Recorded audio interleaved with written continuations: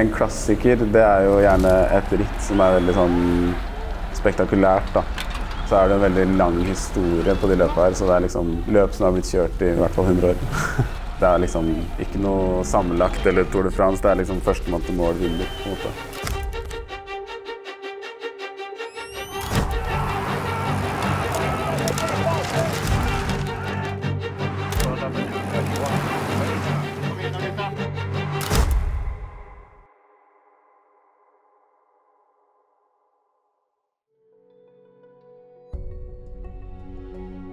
En klassiker. Lange løp. Det er ofte ikke godt vær. Det er det første store målet for veldig mange ryttere hver sesong. Det er der ofte legendene blir eh, født. Og så er det et løp som blir kjørt stort sett samme løype hvert år.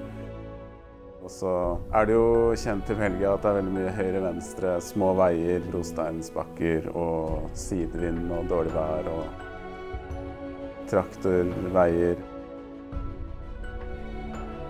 Hvis det er 20 sektorer med brostein eller grus, at da får du 20 sånne posisjonskamper. Egentlig full spurt hver gang. En som kan gjøre det bra der, er nødt til å ha god kjørestyrke.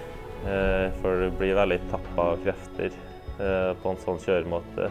Men også at du er eksplosiv for å få til spurter hele tida. Så du må være litt seig også for å ha flere sånne spurter innabords.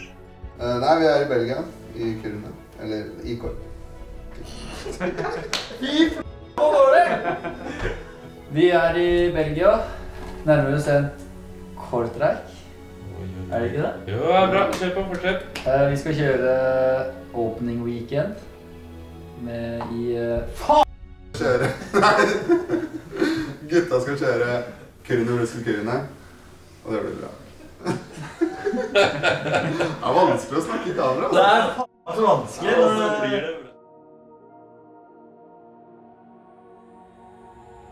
Søren målstrek i bunnen av Kanarieberg og Erik målstrek i bunnen av Côte Her må det fyres av for at vi holder, holder oss i posisjon. Godt plassert inn.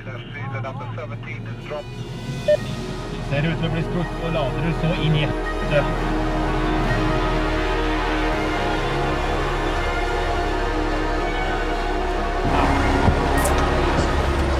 Det var kjørt.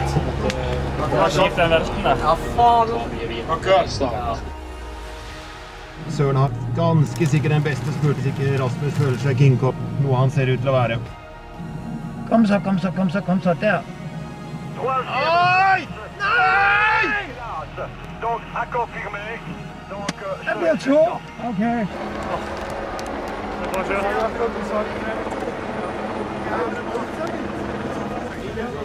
Rasmus Dealer, Rasmus Diller de l'équipe une X formation norvégienne à la deuxième place.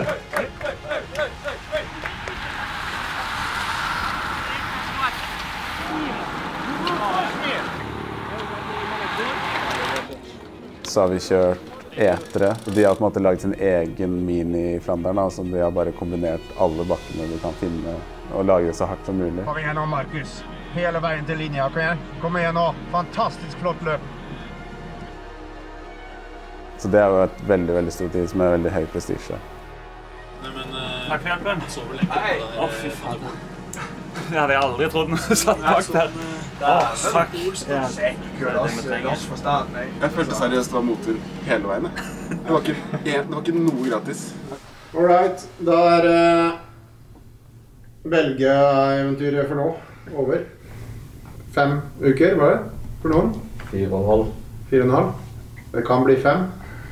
Vi, vi venter på telefonen fra Glenn Ok.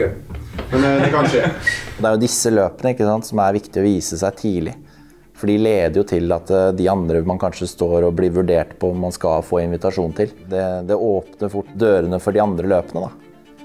Og når man stabilt produserer liksom gode resultater, kjører aktivt, ser bra ut som lag, ter seg som et lag, kombinert med det å, å selvfølgelig være høyt oppe på listene, så blir det jo invitasjoner da, til, til andre klassikere. Det, man må jo begynne et sted. Jeg har jo hørt det fra de gutta som har vært på World-turlag, at det er et annerledes sted. å være. Da blir det mer at du er på, virkelig er på jobb. Da, at du har ikke så godt forhold til dem du er sammen med. Sånn som vi da har nå da, i Unex. Hvem var det som dro ut kabelen på Morten, da? Han sier nærmest deg nå. Nei. Det er ikke meg. Å, oh, æsj. Er det det? Åh. Det var dårlig gjort. Ja. Det er en dårlig stil.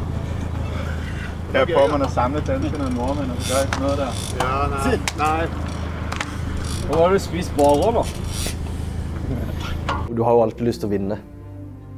Men det har jo noe med det at når man er så nærme og at man på en måte vet at sjansen er der, og at du er god nok til å vinne, så handler det om å få litt mer stang inn og kanskje bli, bli et hakk bedre. At man får mer stang inn da. Jeg føler egentlig det er bare positivt. og ja, Hvis man bare holder koken, så, så kommer de etter hvert. Dvar står het Hageland, hvor vi hadde et slagkraftig team til start. Det er litt nerver i lufta, fordi man, man, vet at vi stiller med det laget vi gjør, og vi har kjørt såpass godt gjennom hele vårsesongen i klassikerne. Vært utrolig nærme. Men uh, det her var kanskje dagen det endelig skulle løsne ordentlig, da. Fikk Rasmus komme av gårde i et brudd der. Det var egentlig helt perfekt. Og så hadde vi andre gutta veldig bra kontroll bak på alt som skjedde. Var med på alt, egentlig. Følelse av uh, lettelse og glede og alt på en gang, egentlig. Når han får litt press på skuldrene på slutten, så pleier han som regel å innfri ganske mange ganger, Rasmus. Så vi visste jo hva han var god for. Age og jeg sitter jo liksom Fader, her er din dag. Er, er, du er ingen i verden som klarer det trøkket du har fra siste sving der. Når du går til for full pupp der, det er ingen som skal klare å ta deg. Når jeg da fikk høre når jeg kom i mål at han faen hadde vunnet, det var ikke veldig gøy. Ja da! Yes! Så da tror jeg alle liksom var sånn Yes, yes, yes. Det var så jævlig bra.